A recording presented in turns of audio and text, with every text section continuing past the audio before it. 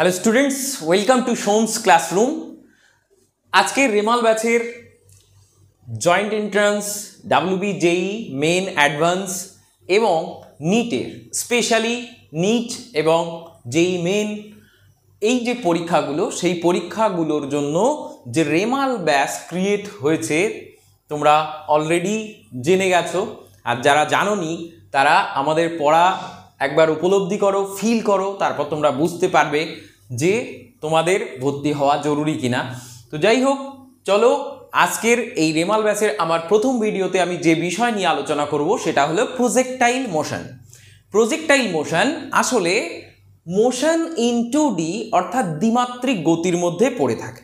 তো এই দ্বিমাত্রিক গতির মধ্যে স্পেশালি প্রজেক্টাইল মোশন সেই প্রজেক্টাইল মোশন থেকে তোমাদের নিট বলো বা যেই মেন বলো সেক্ষেত্রে সেখান থেকে প্রচুর প্রশ্ন আসে। প্রচুর প্রশ্ন বলতে স্পেশালি টু ডাইমেনশনাল মোশনের তিনটে কেজ রয়েছে।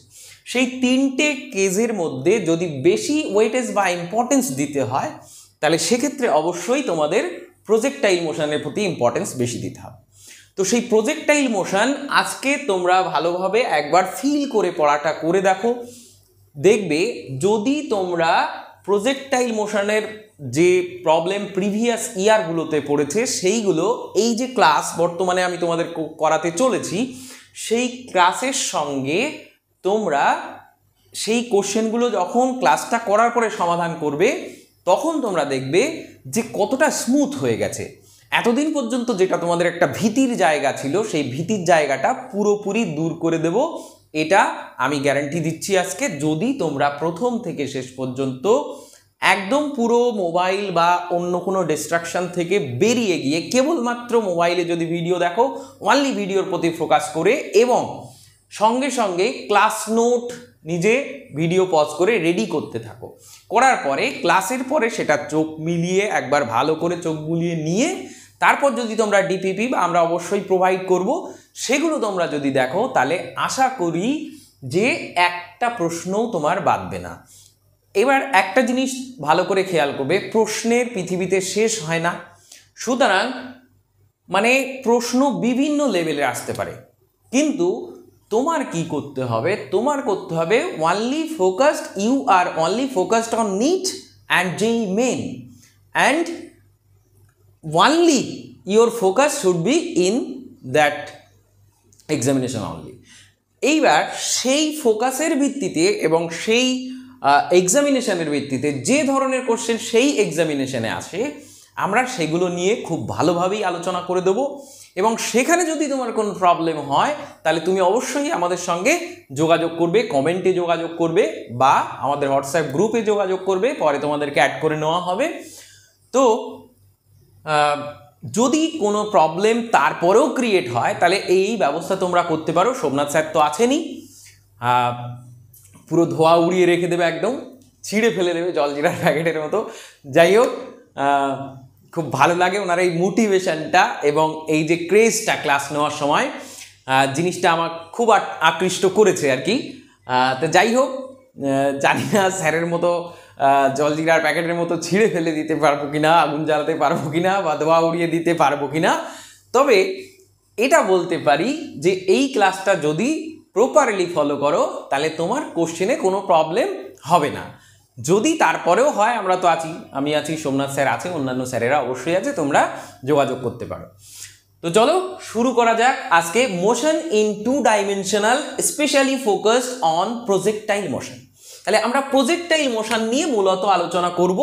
তার আগে আমি নিটের প্রিভিয়াস টেন ইয়ার্সের কিছু কথা তোমাদেরকে বলতে চাই। মোশন ইন টু ডাইমেনশন এই চ্যাপ্টার থেকে প্রিভিয়াস নিটে দশ বছরের যদি প্রশ্ন আমরা খেয়াল করি, তাহলে সেখানে মোটামুটি একুশ থেকে চব্বিশটা প্রশ্ন এসেছিল। সেই একুশ থেকে চব্বিশটা প্রশ্নের ওয়েটেজ যদি আমরা চিন্তা ভাবনা করে থাকি, তাহলে সেখানে প্রজেক্টাইল মোশনের ওয়েটেজ সব থেকে বেশি ছিল। তো যাই হোক মোশন ইন টু ডিতে দেখো, আজকে একটু ইন্ট্রো করতে হলো, অন্যদিন ক্লাসে এতটা ইন্ট্রো করার দরকার হবে না। তার কারণ রেমাল ব্যাসে কি কি হবে, তোমরা অলরেডি জেনে গেছো, আলাদা আলাদা ভিডিও করে সোমনাথ স্যার এবং অন্যান্য স্যারেরা তোমাদেরকে জানিয়ে দিয়েছে। তো বেশি ইন্ট্রো জাস্ট যেটুকু হয়েছে আজকের জন্য, এরপরে আর অত কিছু ইন্ট্রো হবে না। জাস্ট পড়ার মধ্যে তোমরা ঢুকে যাবে, সুন্দর করে নোট ক্লাস নোটস রেডি করবে। তারপর যদি কোনো তারপরেও প্রবলেম থাকে জাস্ট কমেন্টে কমেন্ট করবে বা আমাদের সঙ্গে যোগাযোগ করবে। এটাই তোমাদের দায়িত্ব এবং মন দিয়ে পড়াশোনা করবে। এটা তো অবশ্যই তোমাদের দায়িত্ব। এবার তোমার নিজের পরিস্থিতি যদি তোমাকে পড়াতে না পারে, তাহলে আমরা যতই মোটিভেট করি তোমাকে পড়াতে পারব না। সেই জন্য মোটিভেট করে পড়ানোর থেকে যদি নিজে বুঝে তুমি পড়তে চাও এবং নিজের ভিতর থেকে তোমার উপলব্ধি থাকে, তাহলে তুমি অবশ্যই পারবে। পারবেই, এটা গ্যারেন্টি তো যাই হোক চলো মোশন ইন টু ডাইমেনশন অর্থাৎ দ্বিমাত্রিক গতি। এই দ্বিমাত্রিক গতির মধ্যে স্পেশালি আমরা প্রজেক্টাইল মোশনটা পড়ব বলেছি। কিন্তু আগে একটুখানি জেনে নিই যে মোশন ইন টু ডাইমেনশন চ্যাপ্টারে আমরা কি কি দেখতে পাবো। Motion in two dimensionally basically আমরা যে তিনটে বিষয় দেখতে পাবো, সেটা হচ্ছে রিলেটিভ মোশন রিলেটিভ মোশন বা আপেক্ষিক গতি। তাহলে রিলেটিভ মোশন বা আপেক্ষিক গতি যে বিষয়ে তোমাদের ভিডিও অবশ্যই দেওয়া হবে বা যে বিষয় সম্বন্ধে তোমাদের অবশ্যই পড়ানো হবে, সম্ভবত বিষয়টা আমি হয়তো নাও পড়াতে পারি বা পড়াতেও পারি। আমি এখনও জানি না, সোম স্যারের সঙ্গে আলোচনা করে অবশ্যই আমি বা সোম স্যার কেউ না কেউ তোমাদেরকে পড়াবো। তো চলো, তোমরা কমেন্ট করো যে আমার পড়ানোটা তোমাদের কেমন লাগছে বা সোম স্যারের পড়ানো তো অনবদ্য, তোমরা আগেও বলেছ এবং স্যারের উপরেই, আমি তো ফার্স্ট তোমাদের ক্লাস নিতে এলাম। তো স্যারের ভিডিও দেখে উদ্বুদ্ধ হয়ে তোমরা এসেছ আশা করি। তো এরপরে আমি এলাম। এখন আমি যদি তোমাদেরকে উদ্বুদ্ধ করতে পারি, তাহলে আমার নাম একবার অন্তত করো। স্যারও খুশি হবে আমি একটু খুশি হব। যাই হোক relative motion motion in two ডাইমেনশনের আন্ডারে এক নম্বর টপিক দু নম্বর টপিক আমরা বলতে পারি প্রজেক্টাইল মোশন তাহলে প্রজেক্টাইল মোশন মোশনটা আমি বারবার লিখছি না, লিখে দিই। Projectile motion and number three is circular motion circular motion তাহলে মোশন ইন টু ডির আন্ডারে মূলত এই তিনটে টপিক পড়ে থাকে। এই তিনটে টপিকের মধ্যে আজকে আমরা পড়তে চলেছি প্রজেক্টাইল মোশন তো চলো প্রজেক্টাইল মোশন সম্বন্ধেই মূলত আলোচনা করা যাক। তোমাদের বলেছি যে স্পেশালি ফোকাস করছি প্রজেক্টাইল মোশনে তার কারণ প্রজেক্টাইল মোশনে নিটে প্রশ্ন অলমোস্ট মানে এভরি ইয়ার তো বলা যাবে না, তার কারণ এই তিনটে টপিকের উপরে বেস করে একটা কোশ্চেন আসতে পারে বা আসে। তো প্রিভিয়াস টেন ইয়ার্সে কোশ্চেন প্রচুর এসছে এই তিনটে টপিকের মধ্যে। তার মধ্যে ওইটের যদি দিই, তাহলে প্রজেক্টাইল মোশন বেস্ট তো চলো শুরু করা যাক আজকে প্রজেক্টাইল মোশন তো প্রথমে আমরা সংজ্ঞা থেকে শুরু করি। দেখো, সব সংজ্ঞা আমি এরকমভাবে আলাদা করে লিখে দেব না। আমি মুখে যেটা বলব, তোমরা ভিডিও পজ করে হোক বা যেভাবে হোক সেটাকে তোমরা লিখে নেওয়ার চেষ্টা করবে। কেননা অনেকটা ভিডিও লেন্দি হয়ে গেলে তোমাদেরও বোর লাগবে। আর আমি অন্য টপিক থেকে আসলে ডাইভার্ট হয়ে যাব সেই ক্ষেত্রে। তো সেই জন্য সমস্ত সংজ্ঞাগুলো আমি আলাদা করে এরকমভাবে বোর্ডে সবসময়ের জন্য লিখে দেব না। ঠিক আছে? বলে দেব। যদি কোনো ইম্পর্টেন্ট টার্মস তার মধ্যে থাকে, সেটা বলে দেবো। আজকে জাস্ট ফার্স্ট ক্লাস আমি করাচ্ছি, আমার ক্লাস প্রথম তোমরা দেখছ। সেই জন্য এর পরবর্তীতে ক্লাসগুলোতে আমি কি কি করতে চলেছি, তার সম্বন্ধে আজকে ক্লাস করাকালীন আমি একটু বলতে বলতে এগোবো। সেই জন্য আজকের ক্লাস একটু লেন্দি হতে পারে, কিন্তু কোনো চিন্তার কারণ নেই। নেক্সট দিন থেকে তোমাদের যদি গল্পে খুব এলার্জি থাকে তাহলে আমি তো গল্প করব না। যাই হোক আর যেটুকু করে থাকব জানবে তোমাদেরকে মোটিভেট করার জন্য এবং তোমাদেরকে সঠিক ট্র্যাকে নিয়ে আসার জন্য। যেহেতু মেন্টর হিসেবে আমাদেরকে বাছাই করেছ, সেহেতু আমাদের এইটুকু দায়িত্ব তো আছে আর এইটুকু আমরা করছি এবং করব। তো চলো দেখে নেওয়া যাক প্রজেক্টাইল মোশনের ডেফিনিশন কি হবে। ডেফিনিশন হচ্ছে যখন আমরা ডেফিনিশন হিসেবে কি বলতে পারি? যখন কোনো একটা বস্তু, কোনো একটা বস্তু আন্ডার গ্রাভিটিতে অর্থাৎ গ্রাভিটির আন্ডারে বা অভিকর্ষজ ত্বরণের প্রভাবে এয়ার মিডিয়ামে গতিশীল হবে টু ডাইমেনশনালি অর্থাৎ দ্বিমাত্রিক গতি হবে এয়ার মিডিয়ামে। যদি সংজ্ঞা হিসেবে এটাকে আমরা বলতে চাই, তাহলে কেমন বলতে পারি? এ বডি, সংজ্ঞাটা একটুখানি আমি বলে দিচ্ছি, সব দিন বলব না বলেছি, আজকে একটু সংজ্ঞাটা বলে দিলাম। A body which is moving under the influence of gravity influence of gravity in air in two dimension in two dimension is called is called projectile motion is called projectile motion তাহলে projectile motion বলতে আমরা কি বুঝলাম যখন কোনো একটা body অবিকর্ষজ ত্বরণের প্রভাবে বায়ু মাধ্যমে গতিশীল হবে, কেমন পথে দ্বিমাত্রিকভাবে গতিশীল হবে, তখন তাকে আমরা বলব মোশন ইন টু ডাইমেনশন।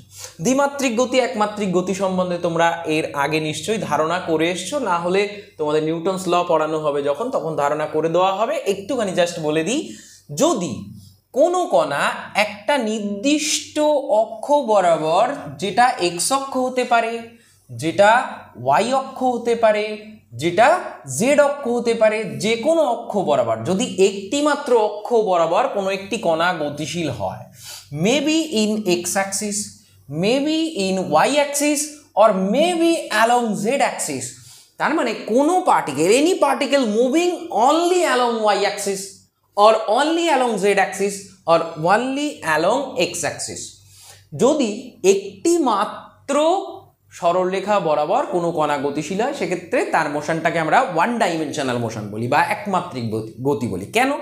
তার কারণ কণার গতির যে কোনো মুহূর্তে তার অবস্থান নির্ণয় করার জন্য আমাদের কেবলমাত্র একটি কোয়ার্ডিনেট দরকার হয় বা একটি স্থানাঙ্কের দরকার হয়। সেই কারণের জন্য আমরা ওয়ান ডাইমেনশনাল মোশন বলে থাকি। কিন্তু যদি কোনো একটা কণা, যদি কোনো একটা কণা এমনভাবে চলাচল করে, ধরে নিলাম এই বোর্ডের উপরে একটা পোকা এখান থেকে যাত্রা শুরু করে এইভাবে এই পথ বরাবর হেঁটে চলছে। বোর্ডের উপরে একটা পোকা এই পথে ঘুরে চলেছে। Let's suppose this axis is X axis and this axis is Y axis and here is a point A and here is a point B তাহলে আমি ধরে নিলাম এখানে একটা বিন্দু রয়েছে এ এখানে একটা বিন্দু রয়েছে বি এখন তুমি দেখো, যেহেতু বোর্ড একটা দ্বিমাত্রিক তল, তাই তো? তাহলে এ বিন্দুর স্থানাঙ্ক তুমি যদি বোঝাতে চাও, এ বিন্দুর অবস্থানকে তুমি যদি বোঝাতে চাও মিনিমাম তোমার দুটো স্থানাঙ্ককে উল্লেখ করতে হবে। অর্থাৎ এই যে স্থানাঙ্কটা রয়েছে, সেটাকেও তোমার উল্লেখ করতে হবে।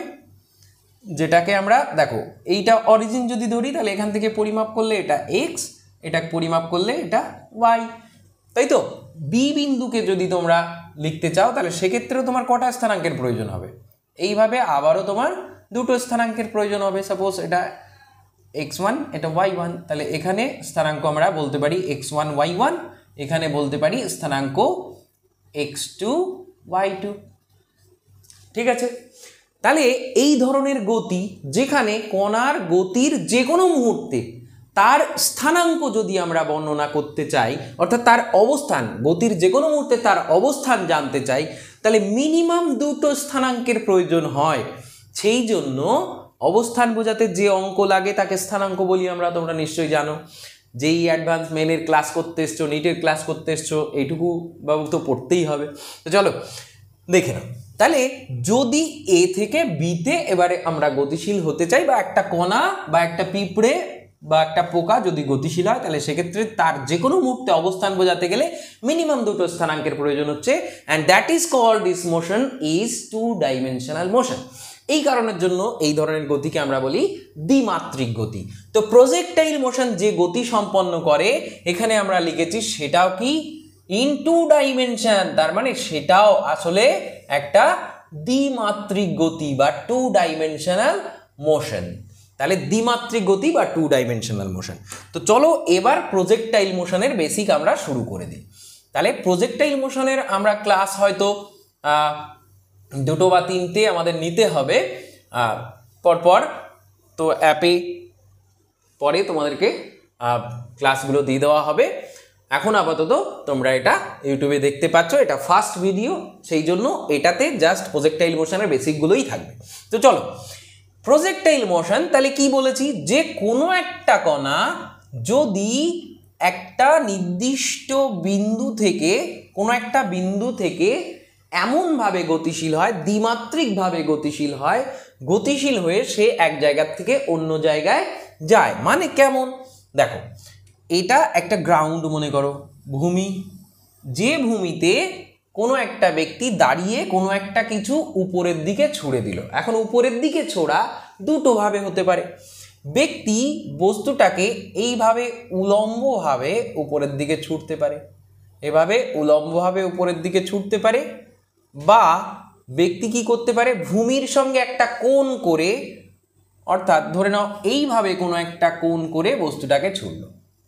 এইদিকে ইউ গতিবেগে কোনো একটা বস্তুকে ছুড়ল। কোনো একজন ব্যক্তি এখান থেকে ইউ গতিবেগে এরকমভাবে কোনো একটা বস্তুকে ছুড়ল। এক্ষেত্রে বস্তুটা আমরা দেখতে পাবো কেমন গতি হবে সেটা আমরা দেখার চেষ্টা করি। বস্তুটা আন্ডার গ্র্যাভিটি তার মোশনটা এরকম হবে। তাহলে এই যে বস্তুটার গতি হলো, সেই গতিটা আমরা কেমন হলো দেখতে পেলাম? এরকম ধরনের গতি হলো। এই যে মোশন সেই মোশনটা ভালো করে দেখো। কণার গতির যে কোনো মুহূর্তে অবস্থান তুমি যদি নির্ণয় করতে চাও সাপোজ এখানে আমরা একটা পয়েন্ট ভেবে নিলাম পি এই পি পয়েন্টে তুমি ভালো করে খেয়াল করে দেখো, কণার অবস্থান বোঝাতে গেলে আমার কটা স্থানাঙ্ক লাগবে? এখান থেকে একটা স্থানাঙ্ক, আর এখান থেকে আর একটা স্থানাঙ্ক পেয়ে যাব। তাহলে মিনিমাম এই দুটো স্থানাঙ্ক আমাদের প্রয়োজন হবে কণার গতিটাকে ঠিকঠাক করে বর্ণনা করার জন্য, তাই তো? তাহলে মিনিমাম এই দুটো স্থানাঙ্ক আমাদের প্রয়োজন হবে কণার গতিটাকে বর্ণনা করার জন্য। তাহলে দেখো, এই যে গতি সাপোজ এটা আমরা বললাম ও বিন্দু, এইটা আমরা বললাম বি বিন্দু, এটার নাম দিচ্ছি বি বিন্দু, এটার নাম দিলাম সি বিন্দু, এটার আমরা একটা নাম দিলাম এখান থেকে একটা অঙ্কন করলাম। এটার আমি একটা নাম দিলাম ডি বিন্দু। দেখো, তো প্রজেক্টাইল মোশন বলতে আমরা কি বোঝাতে চেয়েছি? যদি কোনো একটা কণাকে এমনভাবে ছোড়া হয় যে সে দ্বিমাত্রিক গতি সম্পন্ন করে। তার মানে সেক্ষেত্রে কণা, দেখো, যদি কণাটিকে এই ওয়াই অক্ষ বরাবর ছোড়া হতো তাহলে কণাটি কি করতো? কেবলমাত্র একটা নির্দিষ্ট অক্ষ বরাবর গতিশীল হতো। তাই তো? তাহলে সেক্ষেত্রে তার গতি হয়ে যেত একমাত্রিক গতি। একটু আগেই আলোচনা করে এলাম যে তার গতি হয়ে যেত একমাত্রিক গতি। কিন্তু কণাটা যখন এই পথে গতিশীল হচ্ছে, সেক্ষেত্রে আমরা কি দেখতে পাচ্ছি দেখো? সেক্ষেত্রে আমরা দেখতে পাচ্ছি যে কণাটা যে কোনো মুহূর্তে কণাটির অবস্থান বোঝাতে দুটো স্থানাঙ্কের প্রয়োজন হয়, অর্থাৎ কণাটি সম্পন্ন করছে একটা দ্বিমাত্রিক গতি। এই দ্বিমাত্রিক গতি কখন সম্ভব? যদি কণাটি ভূমির সঙ্গে একটি কোণ করে ছোড়া হয় সাপোজ এই কোণটার মান আমরা ধরে নিলাম থিটা তাহলে এই থিটার মান কত হতে পারে? এই থিটার মান কত হতে পারে? তার থেকে কত হতে পারে না সেটা আগে দেখে নাও। This theta must not be zero degree যদি জিরো ডিগ্রি হয়, তাহলে কণাটা ভূমি বরাবর যাচ্ছে। অর্থাৎ সেটা এই সরলরেখা বরাবর চলছে। তাহলে ভূমিটা আমরা ধরেছি, যেটা সেটা আমাদের এক্স অ্যাক্সিস ধরে নাও। তাহলে কণাটা এক্স অ্যাক্সিস বরাবর গতি হচ্ছে। তাহলে সেক্ষেত্রে কণাটার মোশন হয়ে যাচ্ছে ওয়ান ডাইমেনশনাল মোশন বা একমাত্রিক গতি। তাহলে theta must not be equal to zero degree projectile মোশনের ক্ষেত্রে থিটা জিরো ডিগ্রি হতে পারে না। আর কোনটা হতে পারে না? Theta must not be equal to ninety degree ঠিক আছে? Ninety degree with the ground গ্রাউন্ডের সাপেক্ষে নাইনটি ডিগ্রি থিটা কখনো হতে পারবে না। কেননা, যদি থিটা নাইনটি ডিগ্রি হয়ে যায়, তাহলে কণাটা অ্যালং ওয়াই অ্যাক্সিস মুভ করবে। সুতরাং সেখানেও একটা পার্টিকুলার ডাইরেকশন পার্টিকুলার একটা অ্যাক্সিস বরাবর ডাইরেক্টেড হচ্ছে মোশনটা তাহলে সেক্ষেত্রেও মোশনটা আমরা বলতে পারি ওয়ান ডাইমেনশনাল মোশন তাহলে মোশনটা তখন কনভার্ট হয়ে যাচ্ছে ওয়ান ডাইমেনশনাল মোশনে কিন্তু এই এক্স ওয়াই প্লেনের মধ্যে যে কোনো জায়গায় কণাটার যখন মুভমেন্ট হচ্ছে, তখন আমরা তাকে টু ডাইমেনশনাল মোশন বলতে পারছি। তার কারণ কণাটির যে কোনো অবস্থানে মানে যে কোনো সময়ে কণাটির অবস্থান নির্ণয় করতে গেলে আমাদের মিনিমাম দুটো কোয়ার্ডিনেটের প্রয়োজন হচ্ছে। And that is Y this is called the two dimensional motion তাই তো? তাহলে প্রজেক্টাইল মোশন এইভাবে হয়। এখন প্রজেক্টাইল মোশনের ক্ষেত্রে আমাদের যে যে বিষয়গুলো এখান থেকে নির্ণয় করতে হবে সেগুলো দেখে নিই। দেখো এই যে কণাটা, যে কণাটাকে ছোড়া হয়েছিল, সে বি বিন্দুতে গিয়ে সর্বোচ্চ উচ্চতায় পৌঁছে গেল। সাপোজ এই সর্বোচ্চ উচ্চতা যেটা আমরা এখানে বিডি দিয়ে চিহ্নিত করেছি, সেই বিডিটা আমি ধরলাম এইচ অর্থাৎ সর্বোচ্চ উচ্চতা বা maximum height is equal to H যেটা কত হবে, বস্তুকে ইউ বেগে ছুড়ে দিলে ভূমির সঙ্গে থিটা কোণ করে বস্তুকে ইউ বেগে ছুড়ে দিলে সে সর্বোচ্চ কত উচ্চতা পর্যন্ত উঠবে সেটা আমরা এখন নির্ণয় করব। এবং এই সর্বোচ্চ উচ্চতায় উঠতে বস্তুটির কত সময় লাগবে সেটাও আমরা নির্ণয় করব। তাহলে যে যে বিষয়গুলো আমরা নির্ণয় করব সেগুলো আমরা আগে থেকে এখানে নোট ডাউন করে নিচ্ছি। দেখো, আমরা নির্ণয় করব কি কি? Time to reach maximum height time to reach time to reach maximum height. অর্থাৎ সর্বোচ্চ উচ্চতায় উঠতে বস্তু কত সময় নেবে? অর্থাৎ ও থেকে বি বিন্দু পর্যন্ত কণাটা যেতে কতটা সময় নেবে সেটা আমরা নির্ণয় করব।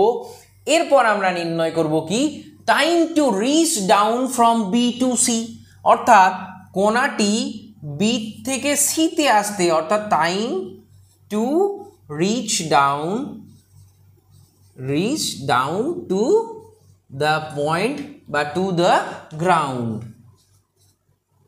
from maximum height তাহলে ফ্রম ম্যাক্সিমাম হাইট তাহলে আমরা সর্বোচ্চ উচ্চতার থেকে নামতে, অর্থাৎ অবতরণ করতে কণার কত সময় লাগবে সেটা নির্ণয় করব। এছাড়া আমরা কি নির্ণয় করব দেখে নিই। এছাড়া আমরা নির্ণয় করব total time of flight total time of flight অর্থাৎ কণাটি কত সময় উড়ল? উড়ন্ত অবস্থায় থাকল। অর্থাৎ যত সময় পর্যন্ত কণাটা এয়ারে অর্থাৎ বাতাসে রয়েছে, তত সময় পর্যন্ত তাকে আমরা বলতে পারি কি, সে ফ্লাইং মোডে আছে। অর্থাৎ উড়ন্ত অবস্থায় রয়েছে। তাহলে দেখো আমরা কি বলেছিলাম? A body which is moving under the influence of gravity in air তাহলে যত সময় পর্যন্ত ও এয়ারে রয়েছে, তত সময় পর্যন্ত ও উড়ছে। তাই তো?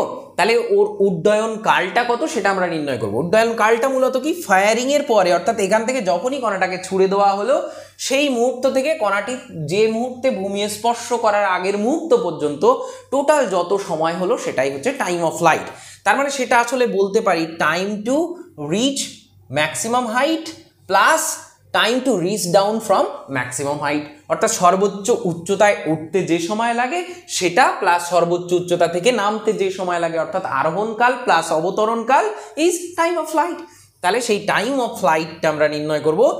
তাহলে এরপরে আমরা আরেকটা জিনিস নির্ণয় করব, সেটা হচ্ছে কি? সেটা হলো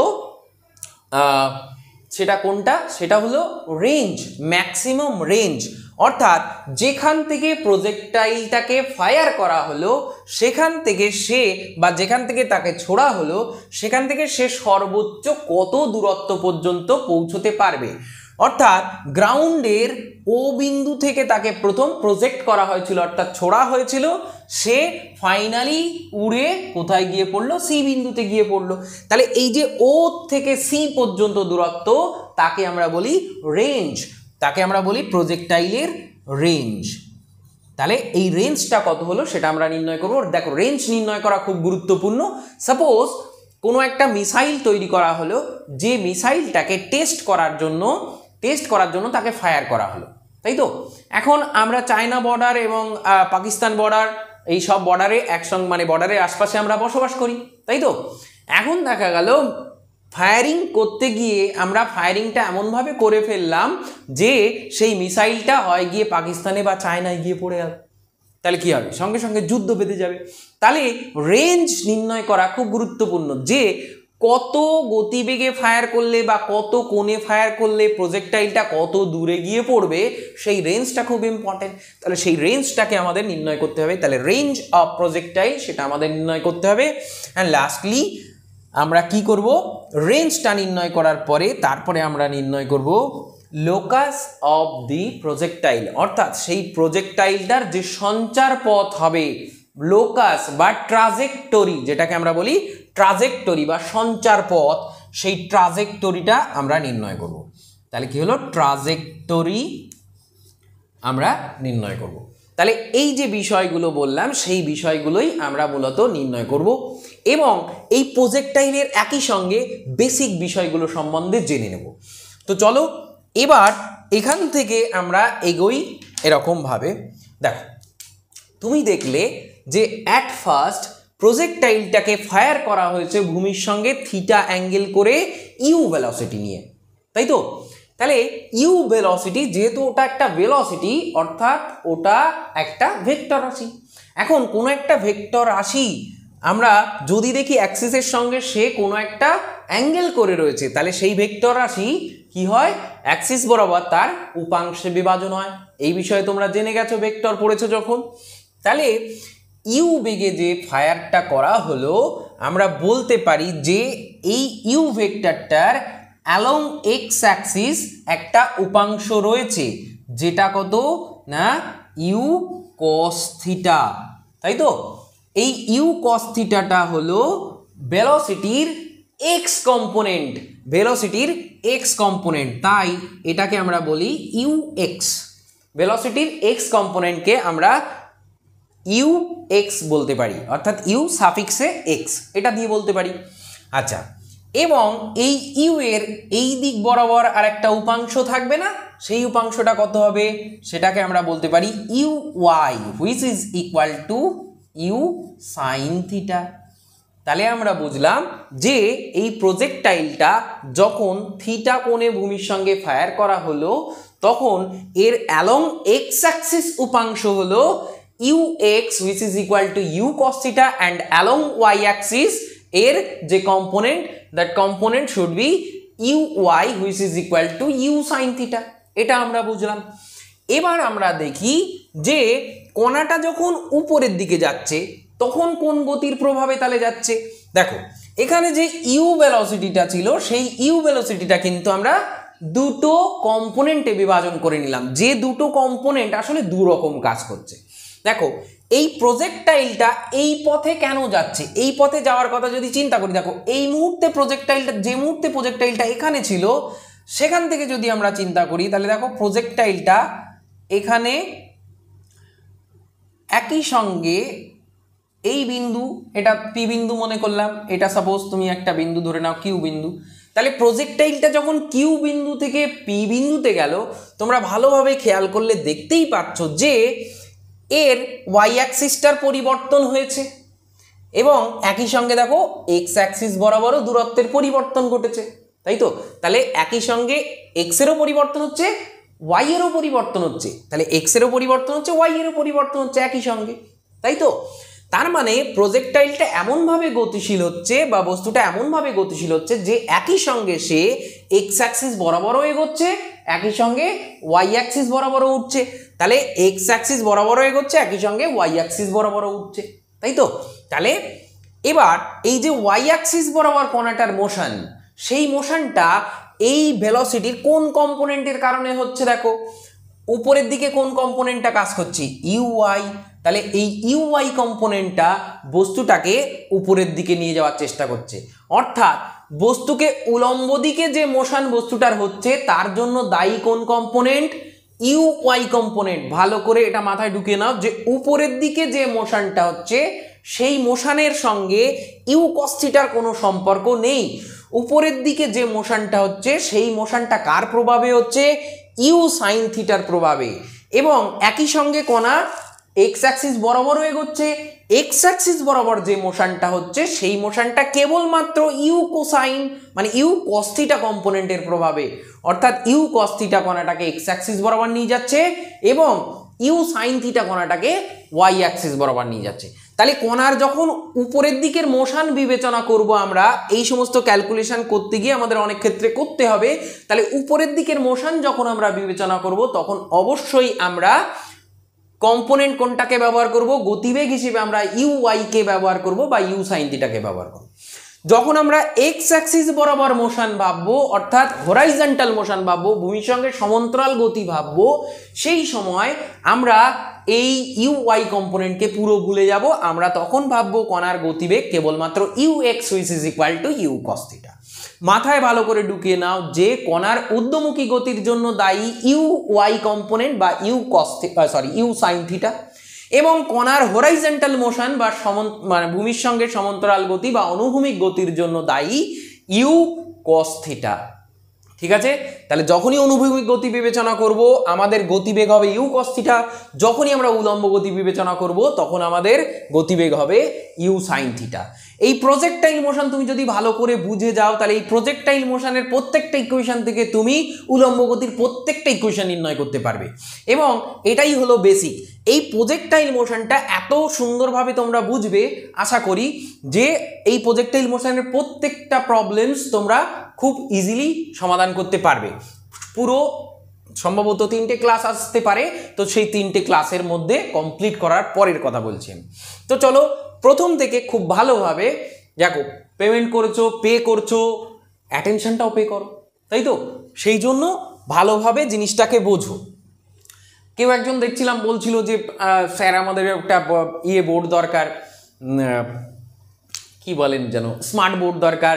আরে বাবা, নিজে আগে স্মার্ট হও, তারপর তো বোর্ড স্মার্ট হবে। আগে নিজেকে সেই জায়গায় তোলো, ঠিক আছে? তাহলে কি হলো? কোনো না কোনো যখন কিছু শুরু হয়, নতুন শুরু হয়, তখন কিন্তু এরকমভাবেই শুরু হয়। ঠিক আছে? তো তোমরা সঙ্গে থাকো, আমরা এগোবো, অবশ্যই এগোবো। ব্যাপারটা হচ্ছে, তার আগে তোমরা নিজেরা তোমাদের কেরিয়ারে এগো। এটাই হচ্ছে মূল কথা। তো চলো, ইউ কস থিটার কম্পোনেন্টের গল্প আমরা শিখলাম, যেটা আমাদের এই দিক বরাবর যা কিছু আমরা নির্ণয় করব, সেটার জন্য ব্যবহার করব। এই দিক বরাবর কোনো মোশন ভাবলে আমরা অবশ্যই ইউ সাইন থিটা কম্পোনেন্টটাকেই ইউজ করব। ঠিক আছে? এবার আমরা তাহলে কণাটি সর্বোচ্চ অবস্থানের ক্ষেত্রে মানে আমরা এই যে বিষয়গুলো লিখে রেখেছি, সেগুলো আস্তে আস্তে নির্ণয় করার জন্য এগোই। তো চলো, নির্ণয় করার আগে আরও যে যে বিষয়গুলো জানতে হবে, সেটা হচ্ছে আমরা অলরেডি কিছু কিছু ইকুয়েশান কিছু কিছু ইকুয়েশান আমরা আগে শিখে রেখেছিলাম। কোন কোন ইকুয়েশানগুলো শিখে রেখেছিলাম, দেখো? আমরা উলম্ব গতি চ্যাপ্টার পড়ার সময় বা কাইনেমেটিক্স যখন আমরা পড়েছি, একমাত্রিক গতি যখন পড়েছি, তখন আমরা দেখেছি যে একমাত্রিক গতির ক্ষেত্রে কতগুলো ইকুয়েশন আমরা পড়েছিলাম, বা নিউটনস লতে আমরা পড়েছিলাম, যে এস ইকুয়াল টু ভিটি হয়। কখন? When when A is equal to zero অর্থাৎ যখন কণার কোনো অ্যাক্সিলারেশন বা ত্বরণ থাকে না, তখন কণা দ্বারা অতিক্রান্ত টি সময় কণা দ্বারা অতিক্রান্ত দূরত্ব ইকুয়াল টু কণার ভেলোসিটি ইন্টু টাইম এটা তোমরা আগে নিশ্চয়ই পড়েছো।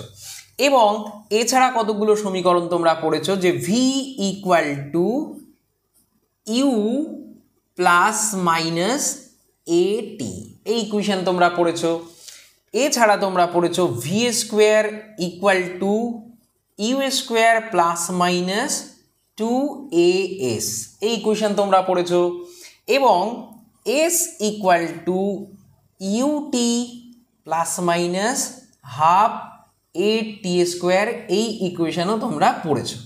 তাহলে এই ইকুয়েশনগুলো এর আগে তোমরা পড়ে রেখেছো, তাই তো? এবার এই ইকুয়েশনগুলো এখানে কিন্তু এই প্রবলেম সমাধান করার ক্ষেত্রে কিন্তু আমরা কাজে লাগবো। কিন্তু একটা বেসিক জিনিস বুঝে নাও, এই যে ইকুয়েশনগুলো আমি লিখলাম, সেইটা কেবলমাত্র লিনিয়ার মোশনের ক্ষেত্রে প্রযোজ্য, অর্থাৎ একমাত্রিক গতি বা রৈখিক গতির ক্ষেত্রে প্রযোজ্য। কিন্তু এখানে আমরা বললাম টু ডাইমেনশনাল মোশন হচ্ছে। একমাত্রিক গতি তো হচ্ছে না, তাহলে এগুলোকে কাজে লাগাবো কি করে? দেখো, এগুলোকে কাজে লাগানো যাবে, খুব মজার ভাবে। তার কারণ, কণাটার যখন আমরা অ্যালং এক্স অ্যাক্সিস বা হোরাইজেন্টাল মোশন নিয়ে বিবেচনা করব, তখন হোরাইজেন্টাল ডাইরেকশানে কণার একটাই বেগ রয়েছে ইউ এক্স তাহলে সেই ইউ এক্স নিয়ে কণা এদিক বরাবর চলছে। তাহলে সেটা যখন একটা রেখা বরাবর কণার বেগ নিয়ে কোনো বিবেচনা করব, তখন সেক্ষেত্রে আমরা এ লিনিয়ার ইকুয়েশন ইউজ করতে পারব। বা কণা যখন উলম্ব গতি উপরের দিকে কণা মোশন হচ্ছে, সেক্ষেত্রেও অ্যালং ওয়াই অ্যাক্সিস মুভমেন্ট হচ্ছে। তাহলে সেক্ষেত্রেও এই একমাত্রিক গতির সমীকরণ আমরা ইউজ করতে পারব। কীভাবে ইউজ করব আমরা দেখছি, চলো। এবার আমরা এখান থেকে পরপর এগোই। দেখো time to reach maximum height সর্বোচ্চ উচ্চতায় পৌঁছতে কণাটির কত সময় লাগে সেটা আমরা নির্ণয় করতে চাই। তো দেখো, কণাটা যখন ও বিন্দু থেকে জাস্ট ছোড়া হয়েছে, কণাটা চলছে, চলতে চলতে, দেখো, কণাটার প্রতি মুহূর্তে উপরের দিকের বেগ আছে, সঙ্গে এদিকের বেগও আছে। কিন্তু যখন কণাটা বি বিন্দুতে গিয়ে পৌঁছালো, তখন একটা মজার ঘটনা ঘটলো। কি ঘটলো? দেখো, কণা বি বিন্দুতে যখন পৌঁছালো বি বিন্দুতে যখন পৌঁছালো, তখন কণার উপরের দিকের যে বেগ বি বিন্দুতে কণাটা যখন পৌঁছালো, তখন কণার উপরের দিকের যে বেগ, সেই বেগটা কত হয়ে গেল বলো তো আর এই অ্যাক্সিস বরাবর, অর্থাৎ এক্স অ্যাক্সিস বরাবর কণার যে বেগ, সেটা কত হয়ে গেল দেখো।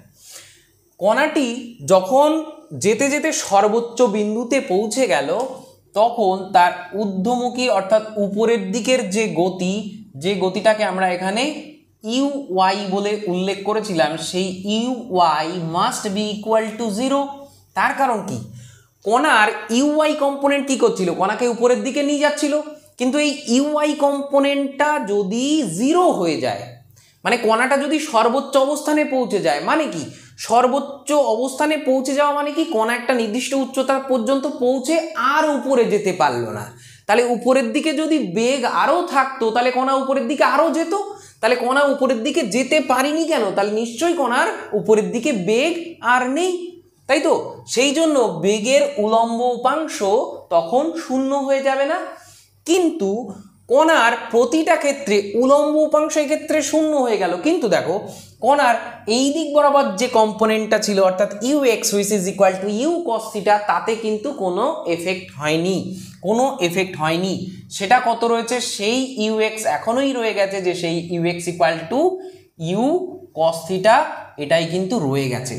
এবার বলি যে এই বেসিক ব্যাপারটা যে কেন উপরের দিকে যাওয়ার সময় বেগটা শূন্য হয়ে গেল, কিন্তু এদিক বরাবর বেগের উপরে কোনো প্রভাব পড়েনি।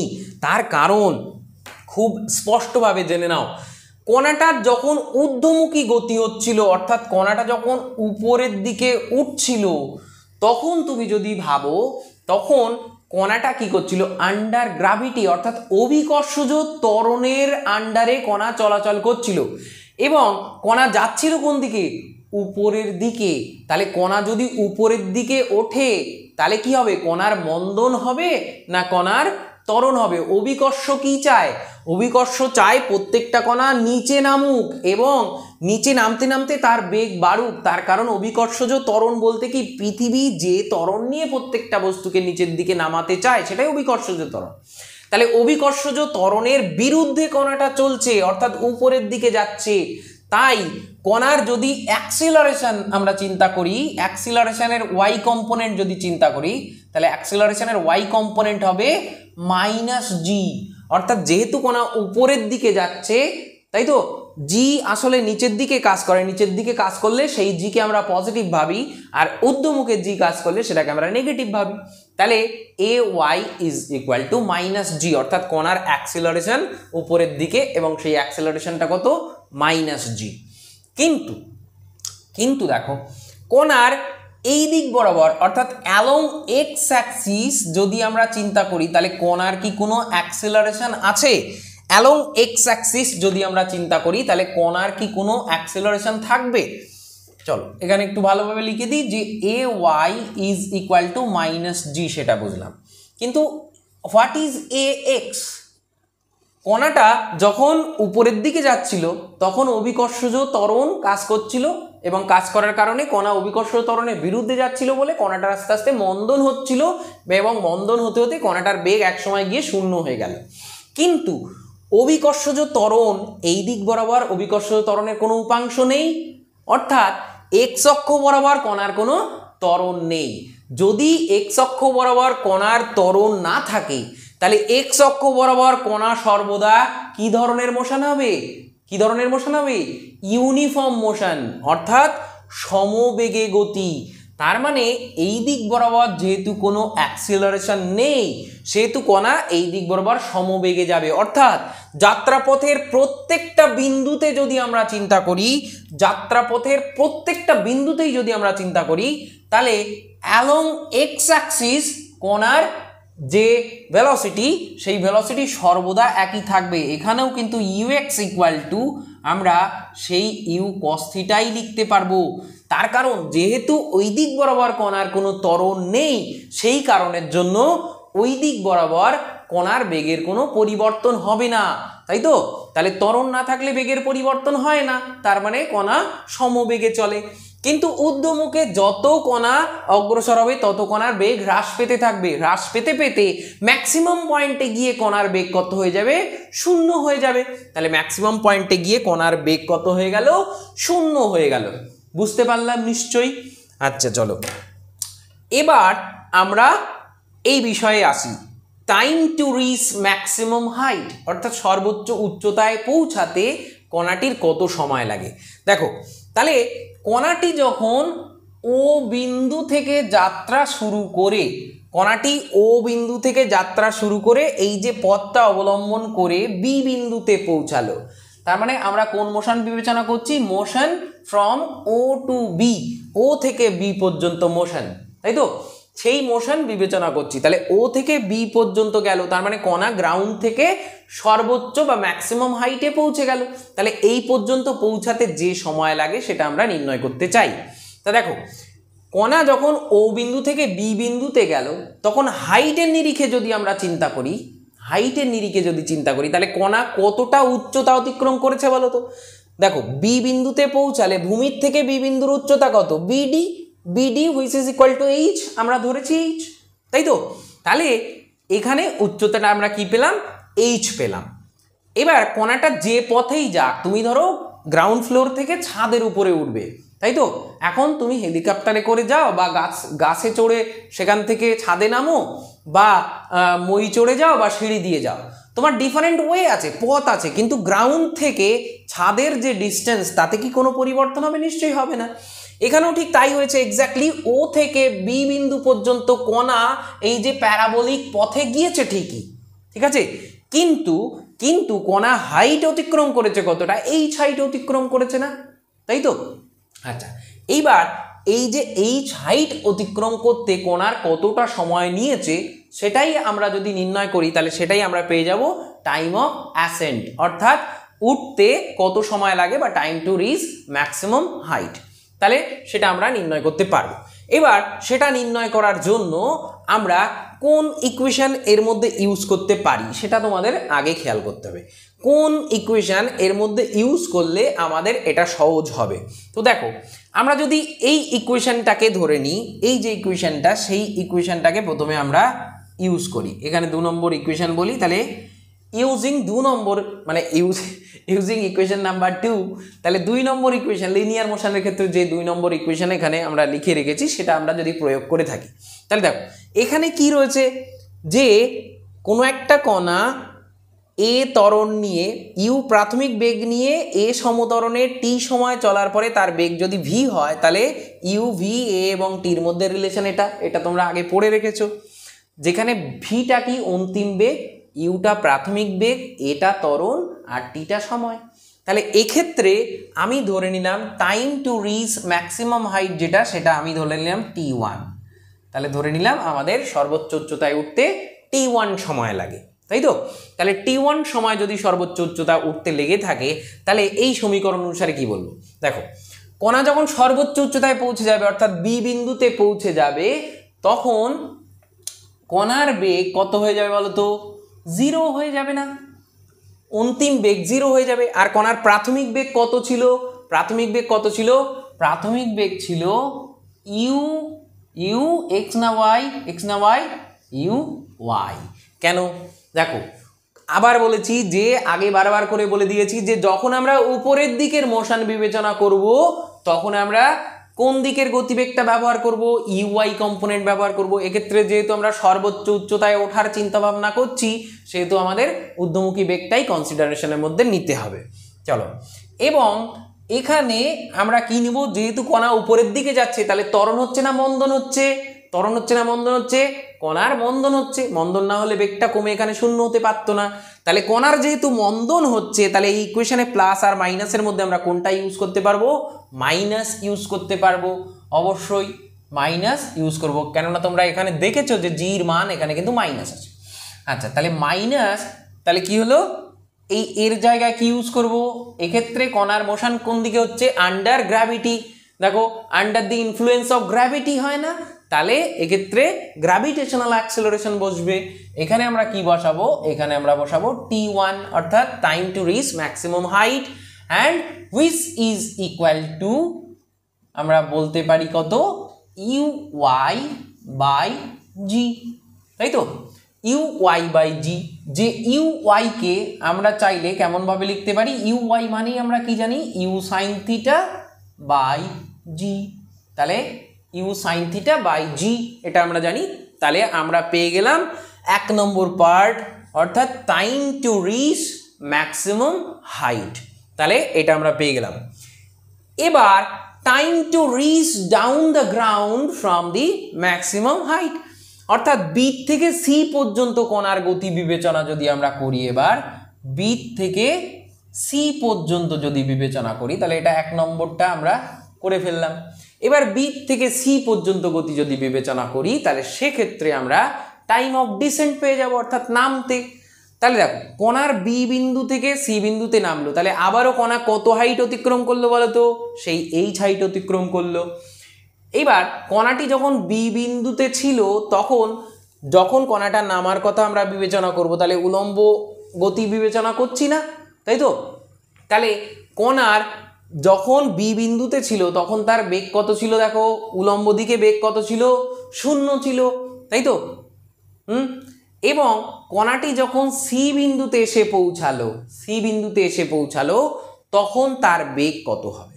দেখো, ধরো এই যে পি বিন্দু ছিল, এই পি বিন্দুর সঙ্গে এখান থেকে তুমি এইভাবে একটা টেনে এখানে একটা বিন্দু ধরে নিয়ে। এখানে কণার বেগ কোন দিকে হচ্ছে? এই স্পর্শক বরাবর এই দিকে। এখানে যদি তুমি একটা অক্ষ মনে মনে ভেবে নাও, তাহলে এখানে কণাটা দেখো, এই যে একটা কোণ করেছে ধরে নিলাম আলফা, কোনো একটা কোণ করেছে ধরে নিলাম আলফা। তাহলে এক্ষেত্রে কণা দেখো, নিচের দিকে এই দিক বরাবর কণা বেগ নিয়ে আসছে ইউআই। দেখো, ওই দিক বরাবর বেগটাকে যদি আমরা পজিটিভ ধরি, তাহলে এই দিক বরাবর বেগটাকে আমরা ধরতে পারি মাইনাস ইউআই। কিন্তু এই দিক বরাবর বেগ কিন্তু অলওয়েজ সেই ইউএক্সি আছে। এই দিক বরাবর বেগ কিন্তু সেই অলওয়েজ ইউএক্সি আছে। তাহলে এখন কণাটা কি হচ্ছে? ডিসেন্ড করছে। অর্থাৎ কণাটা এবার নিচের দিকে নামছে। তাই তো? তাহলে এইবার time to reach down to ground যদি আমরা চিন্তা করতে চাই, তাহলে আমরা কি করতে পারি? যখন কণাটা নিচে সি বিন্দুতে চলে আসবে, তখন কণাটা কি পাবে? প্রথমে ছোড়ার সময় ওর যা বেগ ছিল, ঊর্ধ্বমুখী বেগ যা ছিল, ঠিক সেই বেগটাই আবার সি বিন্দুতে এলে কণাটা ফিরে পেয়ে যাবে। তাহলে কণাটার বি বিন্দুতে বেগ হলো শূন্য আর এই বিন্দুতে বেগ হলো কত? ইউ ওয়াই আবার সে ফিরে পেয়ে গেল। আগে যেমন এখান থেকে ছোড়ার সময় ঊর্ধ্বমুখী বেগ ইউ ওয়াই ছিল, ঠিক নামলেও বেগটা কি হয়ে যাবে? ইউ ওয়াই হয়ে যাবে। তাই তো? দেখো, কোনো একটা বস্তুকে তুমি হাতের এখান থেকে এখান থেকে ছুঁড়ে দিলে, জাস্ট এই জায়গা থেকে বস্তুটা উপরের দিকে গেল। ঠিক আছে? বস্তুটা ঠিক যতদূর ওঠার ততদূর উঠে যখন আবার তোমার হাতে ফিরে আসবে, তখন সেই বস্তুটার ভেলোসিটি আবার ঠিক আগের ভেলোসিটির সঙ্গে সমান হবে। কিন্তু প্রথমে বেগটা যেদিকে ছিল, পরের বার তার উল্টো দিকে হবে। কিন্তু মান সমান হবে। আচ্ছা তো চলো তাহলে দেখে নেওয়া যাক যে আমরা time to descent time of descent অর্থাৎ নিচে নামার যে সময়, সেই সময়টা কত করতে পারি। তো নিচে নামার সময় দেখে নিই তাহলে নিচে নামার সময়টা হবে কত? দেখো, এক্ষেত্রে কণার মোশন কোথার থেকে হচ্ছে? বি থেকে সিতে তাহলে বি বিন্দুতে কণার যে বেগ, সেটাকে আমরা প্রাথমিক বেগ ধরবো। তাহলে প্রাথমিক বেগ ধরবো। তাহলে আমরা আবারও এই সমীকরণ অনুসারে অন্তিম বেগ ইকুয়াল টু প্রাথমিক বেগ, তারপরে প্লাস মাইনাস এটি এরকমভাবে লিখতে হয়। তাহলে দেখো, এক্ষেত্রে অন্তিম বেগ কত? বি থেকে সিতে যাচ্ছে। তাহলে সিতে যে বেগ, সেটাই অন্তিম বেগ। তাহলে অন্তিম বেগ আমরা পেয়ে গেলাম ইউ ওয়াই এবং প্রাথমিক বেগ কত? কণাটি বি বিন্দু থেকে যাত্রা শুরু করেছিল এবার, তাহলে বি বিন্দুতে বেগ ছিল শূন্য। এখন কণাটি কি নিচের দিকে নামছে? তাহলে এবার কণাটির কি হচ্ছে? ত্বরণ হচ্ছে না, বন্ধন হচ্ছে? এবার কণাটির ত্বরণ হচ্ছে, কেননা কণা নিচের দিকে যখন নামছে, তখন তার অ্যাক্সেলারেশন আমরা কি ধরতে পারব? প্লাস ধরতে পারব। তাহলে তখন তার অ্যাক্সেলারেশনকে আমরা কিন্তু প্লাস ধরতে পারব। হুম? তাহলে এবার আমরা এটা লিখব তাহলে কত? এটা লিখব, হুম? তাহলে এবার আমরা লিখব প্লাস জি আমরা ধরলাম time of descent t two তাহলে এটা আমরা ধরলাম টি টু তাহলে সেক্ষেত্রে আমরা এটা পেয়ে গেলাম টি টু তাহলে এবার এখান থেকে আমরা টি টু ইকুয়াল টু কত পাবো? টি টু ইকুয়াল টু পাবো ইউ ওয়াই বাই জি তাহলে আমরা কি দেখতে পেলাম? আবারও টাইম অফ ডিসেন্ট সমান হয়ে গেল। অর্থাৎ উঠতে কোনো একটা প্রজেক্টাইলের যে সময় লাগে, সর্বোচ্চ উচ্চতায় উঠতে, সর্বোচ্চ উচ্চতা থেকে নামতেও সে ঠিক সেই একই টাইম নেয়, অর্থাৎ একই সময় নেয়। তাহলে তিন নম্বরের টোটাল টাইম অফ ফ্লাইট তাহলে কত হবে? তাহলে দেখো টোটাল টাইম অফ ফ্লাইট যদি আমরা টি মনে করি ক্যাপিটাল টি দ্বারা ডিনোট করি টাইম অফ ফ্লাইটকে ক্যাপিটাল টি দ্বারা ডিনোট করি, তাহলে capital T is equal to আমরা লিখতে পারব না যে টি ওয়ান অর্থাৎ ওঠার সময়কাল প্লাস সর্বোচ্চ উচ্চতা থেকে নামার সময়কাল, এই দুটো যোগ করলেই আমরা পেয়ে যাব। তাহলে সেক্ষেত্রে আমরা কত পাচ্ছি? Two u y by g which is equal to two u sine theta by g তাহলে এখান থেকে আমরা টাইম অফ ফ্লাইটটা নির্ণয় করতে পারলাম। এবার আমরা নির্ণয় করব রেঞ্জ তাহলে এবার আমরা নির্ণয় করব রেঞ্জ তাহলে রেঞ্জটা নির্ণয় করে নিই রেঞ্জ কত হবে তাহলে কণাটার? দেখো রেঞ্জ হবে, এবার আমরা রেঞ্জের ক্ষেত্রে দেখো, কণাটা যাচ্ছে কোথায়? এই দিক বরাবর গতি হচ্ছে, অর্থাৎ হরাইজেন্টাল মোশন হচ্ছে। তাহলে ভূমির সঙ্গে সমান্তরাল গতির ক্ষেত্রে কণার দেখো, কোনো অ্যাক্সেলারেশন এই দিক বরাবর না থাকায়, অর্থাৎ কণার এই দিক বরাবর কোনো ত্বরণ না থাকার কারণে কণা সর্বদা এই দিক বরাবর সমবেগে চলেছে। তাহলে সমবেগে গতির ক্ষেত্রে কোন সমীকরণ প্রযোজ্য হয়? এস ইকুয়াল টু ভিটি সমীকরণ প্রযোজ্য হয়। এবার দেখো, কণাটা ও বিন্দু থেকে সি বিন্দু পর্যন্ত পৌঁছাতে টোটাল কত সময় নিল? টোটাল যে সময়টা উড্ডয়নকাল ছিল, সেই সময়টাই নিল। অর্থাৎ টাইম অফ ফ্লাইট যেটা, সেটাই ওর প্রয়োজনীয় সময়। তাহলে ও থেকে সি পর্যন্ত পৌঁছাতে কণাটি ক্যাপিটাল টি পরিমাণ সময় নিল। এবং ও থেকে সির দিকে কণার সর্ব, সর্বদাই মোশনের মানে সর্বদাই বেগ কত ছিল? ইউ এক্স ছিল which is equal to u cos theta.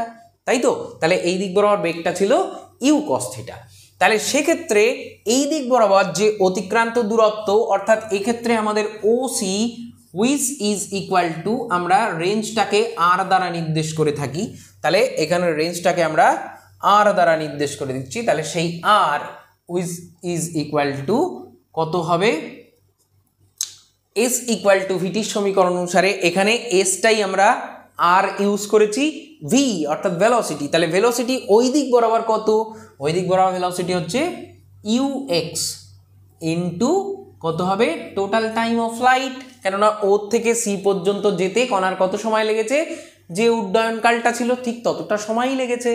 তাহলে ইউ এক্স ইন্টু টি তাহলে আমরা লিখতে পারি কি দেখো টি ইকুয়াল টু আমরা কত পেয়েছিলাম? Two u y by g আর এখানে পেলাম ইউ এক্স তাহলে u x two u x u y by g আমরা লিখতে পারি। উইজ ইজ ইকুয়াল টু আমরা লিখতে পারব কত দেখো টু ইউ এক্সের জায়গায়। আমরা ইউ এক্সের জায়গায় আমরা লিখে দিলাম ইউ ইউ কস্থিটা আর ইউ ওয়াই এর জায়গায় আমরা লিখব ইউ সাইন থিটা, তাহলে ইউ ডাবল হয়ে যাচ্ছে, তাহলে ইউ স্কোয়ার দিয়ে দিলাম, আর এটা দিয়ে দিলাম সাইন থিটা। তাহলে বাই জি আমরা লিখলাম।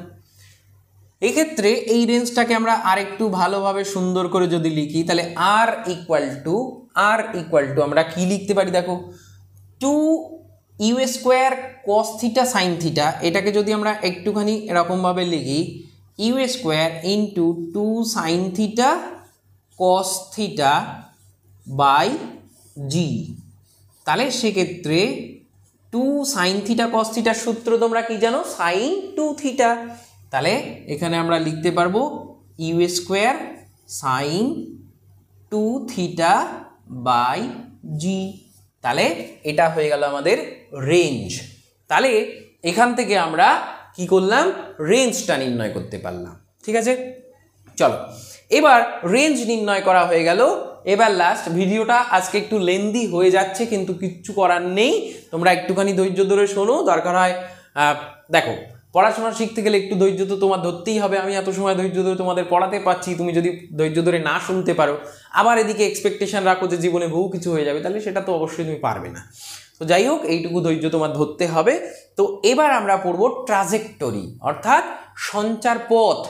অর্থাৎ প্রত্যেকটা কণার গতিপথকে আমরা ইকুয়েশনের মাধ্যমে কিন্তু প্রকাশ করতে পারি। যেমন y equal to m x plus c কোনো একটা কণা যদি y equal to m x plus c এই সমীকরণটা মেনে চলে, তাহলে বুঝব সে কণাটা অবশ্যই সরল রেখায় যাচ্ছে। যেমন x square plus y square is equal to a square এই সমীকরণ কোনো একটা কণা যদি মেনে চলে, তাহলে বলব সে বৃত্তপথে ঘুরছে। তার মানে কণার যে কোনো ধরনের মোশনকে আমরা কি করতে পারি? মোশানকে ফুললি বা পার্টলি আমরা কোনো একটা ইকুয়েশন দ্বারা প্রকাশ করতে পারি। তো এই যে কণাটার মোশনটা হচ্ছে, এটাও কিন্তু আমরা একটা ইকুয়েশনের মারফত প্রকাশ করতে পারব। তা সেই ইকুয়েশনটাই হচ্ছে ইকুয়েশন অফ ট্রাজেক্টরি তাহলে সেই ট্রাজেক্টরির ইকুয়েশনটাই আমরা মূলত নির্ণয় করতে চাই। এবং সেই কারণের জন্যই আমি এখানে পি বলে একটা স্পেশাল বিন্দু নিয়ে রেখেছিলাম। দেখো, এই পি বিন্দুর কথায় এবার আসি। এই পি বিন্দুটা যদি আমরা স্থানাঙ্কের ভিত্তিতে ভাবি, তাহলে এই পি বিন্দুর স্থানাঙ্ক কত হতে পারে? ধরে নিলাম আমি এক্স কমা ওয়াই ঠিক আছে? তাহলে এই যে হাইটটা, এই যে দূরত্বটা, সেই দূরত্বটা কত হবে? এটা আমরা ওয়াই অক্ষ বরাবর নিচ্ছি বলে এটাকে আমরা ওয়াই ভেবে নিতে পারি। তাই তো? আর এই যে দূরত্বটা আমরা লিখেছিলাম, এই যে দূরত্বটা, সেটা আমরা এক্স লিখতে পারি না। এই দূরত্বটা আমরা এক্স লিখতে পারি না অ্যালং এক্স অ্যাক্সিস মাপছি। তাই তো তাহলে এটা হলো পি বিন্দুর স্থানাঙ্ক, যেটাকে আমরা এক্স কমা ওয়াই দ্বারা ডিনোট করলাম। ঠিক আছে? এবার দেখো, এই যে পি বিন্দুতে পৌঁছাতে ধরে নিলাম কণার সময় লাগে টি ঠিক আছে? কণার পি বিন্দুতে পৌঁছাতে প্রয়োজনীয় সময় আমি ধরে নিলাম টি তাহলে দেখো, এইখান থেকে আমরা ট্রাজেক্টরির ইকুয়েশনটা নির্ণয় করি।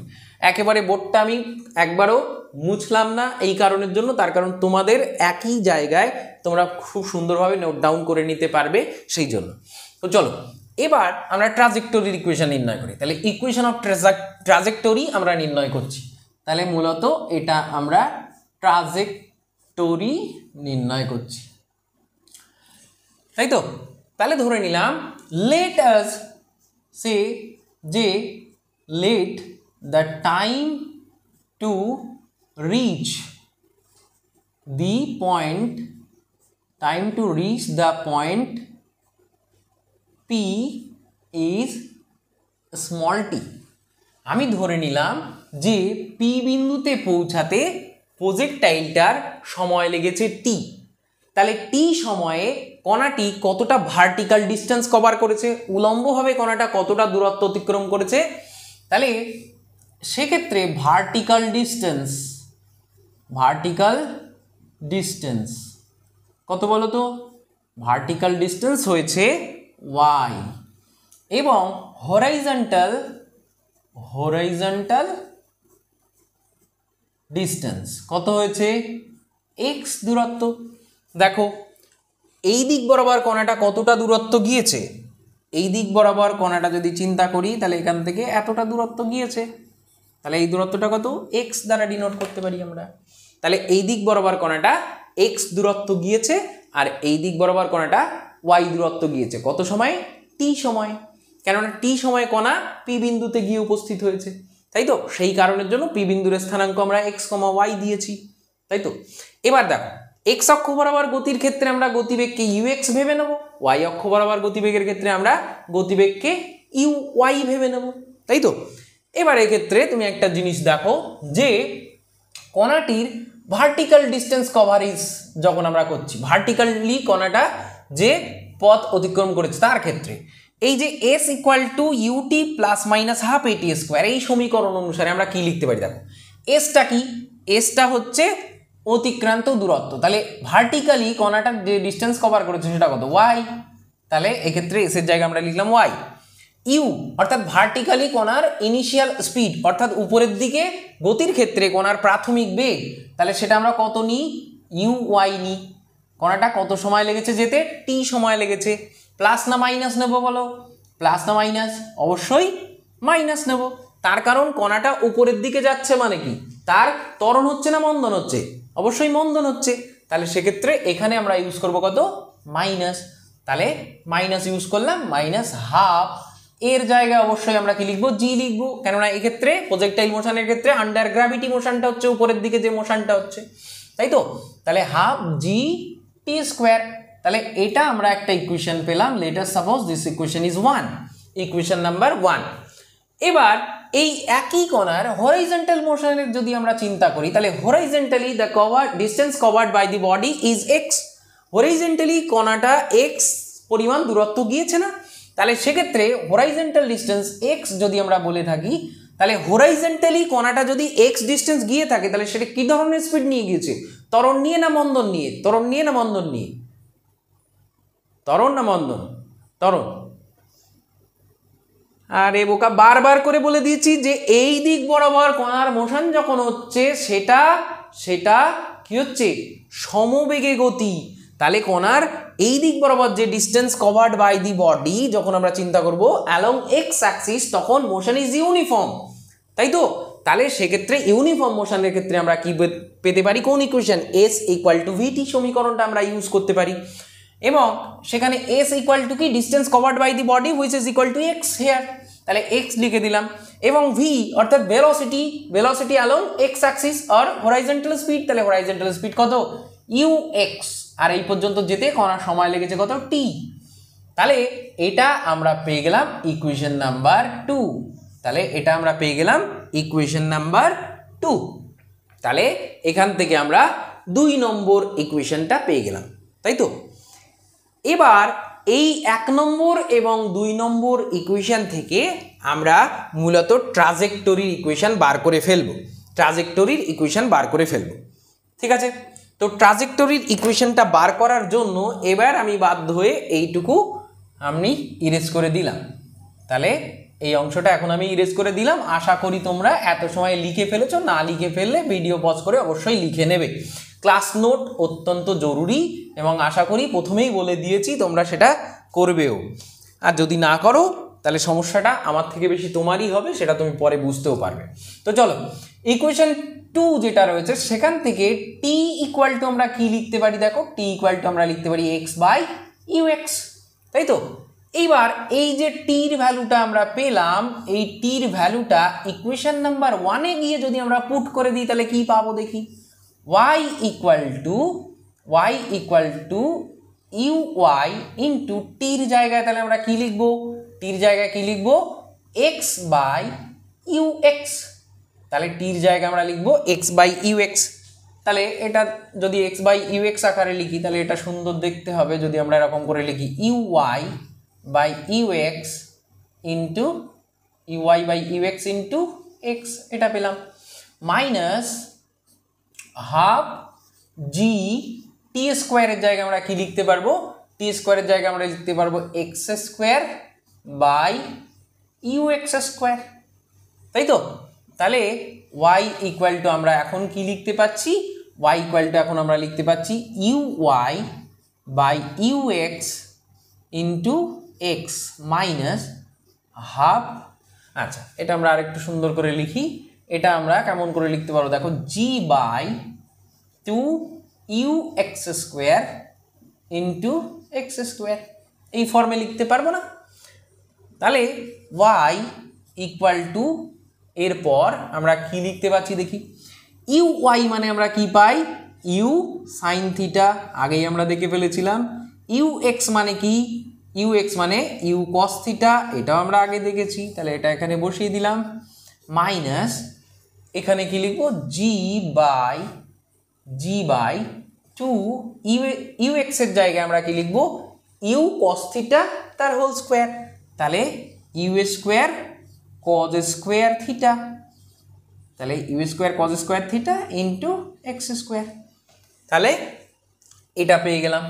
তাহলে এখান থেকে আমরা আবার কি লিখতে পারব দেখে নিই তাহলে এখান থেকে আমরা লিখতে পারব অতএব ওয়াই ইকুয়াল টু দেখো এখান থেকে ইউ ইউ চলে গেল না? ইউ ইউ চলে গেল। এইভাবে কাটবে না। দেখতে বাজে লাগে, কিন্তু আমি তোমাদের বোঝানোর জন্য জাস্ট করেছি। তাহলে সেক্ষেত্রে sine theta by cos theta পাওয়া গেলে হুইচ ইজ ইকুয়াল টু আমরা বলতে পারব ট্যান থিটা তাহলে এক্ষেত্রে এটা লিখতে পারব tan theta into x minus minus g by two u square cos square theta into x square তাহলে এবার ওয়াই ইকুয়াল টু আমরা কি লিখতে পারব? দেখো, এই ট্যান থিটা যেটা একটা ধ্রুবক রাশি, সেই কারণের জন্য এটাকে আমরা এ দ্বারা ডিনোট করলাম, পরে আমরা মেনশনও করে দেবো যে here a is tan theta আচ্ছা আর এখানে যে ধ্রুবকটা রয়েছে, দেখো g by two u square cos square theta দেখো, প্রাথমিকভাবে তুমি যে গতিবেগে ছুড়েছিলে সেটা ইউ একবার ছোড়ার পরে সেটা তোমার আর কন্ট্রোলে নেই। তার কারণ, তুমি যখন হাতের থেকে কোনো একটা জিনিস ছুঁড়ে দিয়েছ, একবার গালাগালি যদি কাউকে দিয়েই ফেলেছো, তাহলে কি? মুখের ভাষা আর তো ফেরত নেওয়া যায় না। ঠিক সেরকম হাতের থেকে কোনো জিনিস তুমি ছুঁড়ে দিয়েছ, একবার ছুঁড়ে দিয়েছ মানে সে তো হাতের থেকে বেরিয়ে গেছে। যা বেগ নিয়ে বেরোনো সেই বেগ নিয়েই বেরিয়ে গেছে। তাহলে যখন তুমি যে বেগ ছুড়লে, তারপরে তার উপরে তোমার আর কন্ট্রোল নেই, এবার পরিবেশটাকে কন্ট্রোল করবে। তো তুমি যখন প্রাথমিক বেগ নিয়ে ছুঁড়েছিলে, সেই বেগটা ফিক্সড ভেলোসিটি ছিল ইউ এবং তুমি যে কোণে ছুঁড়েছিলে, সেটাও একটা ফিক্সড অ্যাঙ্গেল ছিল। এবং সেই কারণের জন্য, এবং জিও ফিক্সড সেই কারণের জন্য এই পুরো রাশিটাকে আমরা কনস্ট্যান্ট বলতে পারি এবং যেটাকে আমরা বি দ্বারা লিখছি। তাহলে a x minus b x square আমরা লিখে দেব here here a is equal to tan theta and and b is equal to g by two u square cos square theta এটা আমরা এখানে লিখে দেবো। ঠিক আছে? তাহলে আমরা যে ইকুয়েশন অফ ট্রাজেক্টরি পেলাম, সেটা কি? Y equal to a x minus b x square which is a equation of parabola তাহলে এটা একটা প্যারাবোলা হলো। তাহলে এটা একটা প্যারাবোলা হলো। তাহলে আমরা বুঝলাম যে অবশ্যই একটা প্রজেক্টাইলের ট্রাজেক্টরি বা সঞ্চারপথ বা লোকাস কেমন হবে? প্যারাবোলিক হবে। তাহলে এটা একটা প্যারাবোলার equation and that is why this is called a projectile motion তাহলে এই মোশনটা অবশ্যই একটা প্যারাবোলিক মোশন ঠিক আছে? তাহলে আমরা ট্রাজেক্টরি নির্ণয় করে ফেললাম। এবার তোমাদের কিছু বাড়ির কাজ আমি দিয়ে দেবো। ঠিক আছে? এই ইকুয়েশানগুলো খুব সুন্দর করে প্রত্যেকটা জায়গা খুব ভালোভাবে বুঝবে। বোঝার পরে তোমাদের পরদিন থেকে আমি ক্লাস নোট আকারে কিছু জিনিস, এদের বিষয়ে ইনফরমেশন লিখে দেবো, যেটা তোমাদের শর্ট ট্রিক্সে অঙ্ক করতে খুব সুবিধা করে দেবে। যেমন, আমরা কতকগুলো রিলেশন এর পরে শিখব, ঠিক আছে? কতগুলো রিলেশনের পরে শিখব, যে রেঞ্জ আর ইকুয়াল টু যদি আমরা এ এবং বি অর্থাৎ এই যে ধ্রুবকগুলো রয়েছে, তাদের টার্মে লিখতে চাই, তাহলে এ ইকুয়াল টু মানে আর ইকুয়াল টু আমরা এ বাই বি এগুলো লিখতে পারি। ঠিক আছে? কেন এ বাই বি লিখতে পারব? দেখো, এখানে এ হিসেবে তুমি যেটা পেয়েছ আর বি হিসেবে যেটা পেয়েছ, তাদেরকে অনুপাত করে দেখো। রেঞ্জ হিসেবে তুমি যে রাশিটা পেয়েছিলে, তার সঙ্গে সমান হয়ে যায় সেই জন্য আর ইকুয়াল টু আমরা এ বাই বি আমরা লিখতে পারি। ঠিক আছে? সেই রকম করে এর পর দিন আমরা আরও কতগুলো জিনিস পড়াবো যে কমপ্লিমেন্টারি অ্যাঙ্গেলের ক্ষেত্রে কি হয়? মানে প্রজেক্টাইল মোশন যদি কমপ্লিমেন্টারি অ্যাঙ্গেলে হয়, সেক্ষেত্রে কি হয়? দুটো প্রজেক্টাইলে বসে মানে দুটো প্রজেক্টাইল এইভাবে যাচ্ছে, মনে করো দুটো কোনো মহাকাশ যান এইভাবে যাচ্ছে ভাবো। সেই মহাকাশ যানে দুইজন ব্যক্তি যদি বসে থাকে, তাহলে তারা নিজেদেরকে কেমন দেখবে? নিজেদেরকে স্ট্রেট লাইনে দেখবে, নাকি এরকম প্যারাবলিক পথই দেখবে? কেমন দেখবে? সেটা আমরা ক্যালকুলেশন করে তোমাদেরকে বুঝিয়ে দেবো। এরপরে আমরা প্রজেক্টাইল মোশন সম্বন্ধে গুলে পুরো পুরো প্রজেক্টাইল মোশনের যেটুকু আমাদের লাগে মানে মিনিমাম যেটুকু লাগে দেখো তুমি যেই পড়তে চলেছো নিট পড়তে চলেছো, এটুকু বাবা তোমার করতেই হবে। তো সেই অনুসারে যেটুকু লাগে এক্স্যাক্টলি সেটুকু আমরা সুন্দরভাবে বলে দেবো প্রত্যেকটা রিলেশন যে কি কার মধ্যে রিলেশন হতে পারে। অর্থাৎ এই যে আমরা প্রত্যেকটা পেলাম t one t two t range এই সমস্ত যে ইকুয়েশানগুলো পেলাম ম্যাক্সিমাম হাইট এই সমস্ত বিষয়গুলো সবই তোমাদেরকে জানিয়ে দেবো। ও আচ্ছা আচ্ছা চলো ম্যাক্সিমাম হাইট ম্যাক্সিমাম হাইট তো এখান থেকে আমরা নির্ণয় করিনি এখনও। তাহলে ম্যাক্সিমাম হাইটটা তো আমাদের নির্ণয় করতে হবে। আচ্ছা আচ্ছা চলো, তাহলে ম্যাক্সিমাম হাইটটা নির্ণয় করে দিই একটু। ম্যাক্সিমাম হাইট সর্বোচ্চ উচ্চতা। তাহলে সর্বোচ্চ উচ্চতা নির্ণয় করার ক্ষেত্রে কি হবে? কণা উপরের দিকে চলছে যেহেতু, সর্বোচ্চ উচ্চতা যখনই আমরা নির্ণয় করতে চাইব, তখনই আমরা আবার ঊর্ধ্বমুখী বেগের কথা ভাববো।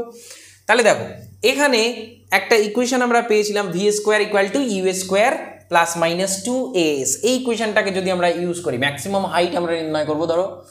তাহলে ম্যাক্সিমাম হাইট অফ প্রজেক্টাইল তাহলে প্রজেক্টাইলের ম্যাক্সিমাম হাইট আমরা নির্ণয় করতে চলেছি। তাহলে এটা দেখো কণার ম্যাক্সিমাম হাইট যখন নির্ণয় করব, তাহলে কণার উপরের দিকের উলম্ব গতি বিবেচনা করব। তাহলে সেক্ষেত্রে কণার অন্তিম বেগ কত? সেটা জানার চেষ্টা করি। তাহলে অন্তিম বেগ, অর্থাৎ সর্বোচ্চ উচ্চতায় কণার বেগ। বেগ কত হলো? সর্বোচ্চ পজিশনে কণার বেগ শূন্য হয়ে যাবে না? সর্বোচ্চ পজিশনে বেগ শূন্য হয়ে যাবে? আচ্ছা প্রাথমিক বেগ কত ছিল? অবশ্যই উলম্ব দিকে গতির ক্ষেত্রে ইউ ওয়াই স্কোয়ার হবে। এবার দেখো প্লাস না মাইনাস হবে? যখন উপরের দিকে যাচ্ছে, তখন ত্বরণ হবে না, মন্দন হবে? অবশ্যই মন্দন হবে। তাহলে এখানে আমরা মাইনাস লিখে দেবো। তাহলে যদি মাইনাস লিখে দিই, তাহলে মাইনাস লিখলাম। এবার টু অ্যাক্সেলারেশনের জায়গায় আমরা জি লিখব। এস এর জায়গায় ম্যাক্সিমাম হাইটটাকে আমরা লিখে দেবো। অর্থাৎ এইচ লিখে দেবো। তাহলে এক্ষেত্রে এইচ ইকুয়াল টু আমরা কী পেলাম? এইচ ইকুয়াল টু আমরা পেলাম u y square by two g তাই তো? U y square by two g তাহলে ইউ ওয়াই ইকুয়াল টু আমরা কি জানি? ইউ সাইন থিটা তাহলে u square sine square theta u square sine square theta by two g এটাই হলো maximum height তাই তো?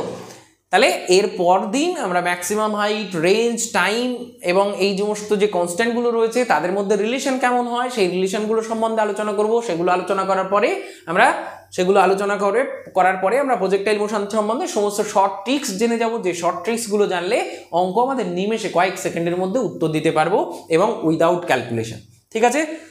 তো প্রচুর বকে ফেললাম আজকে তোমাদের সঙ্গে। প্রথম ক্লাস বলে ক্লাসটা একটু বেশি হয়েছে লেন্দি হয়েছে, কিছু মনে করো না। তাতে আবার যে বিষয়টা পড়াচ্ছি সেটা প্রজেক্টাইল মোশন মোস্ট ইন্টারেস্টিং একটা টপিক ফিজিক্সের মধ্যে।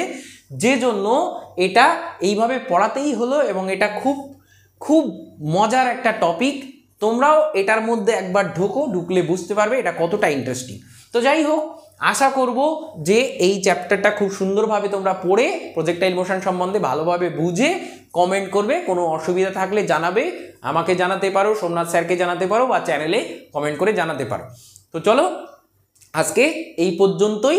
দেখা হচ্ছে পরের ভিডিওতে এবং অ্যাপের ক্লাসে তো যদি পড়া ভালো লেগে থাকে, তাহলে অবশ্যই কমেন্ট করো। তোমাদের সামনে ফার্স্ট আমি এসে পড়ালাম। তো আমার পড়ানো কেমন লাগল সেটা আমি অবশ্যই এক্সপেক্ট করতে পারি তোমাদের কাছ থেকে যে কেমন আমার পড়ানোটা যাতে আমি নিজের ইমপ্রুভমেন্ট করার সুযোগ পাই বা তোমাদের জন্য আরও ভালো ভালো কন্টেন্ট আনতে পারি। তো ঠিক আছে, দেখা হচ্ছে পরের ভিডিওতে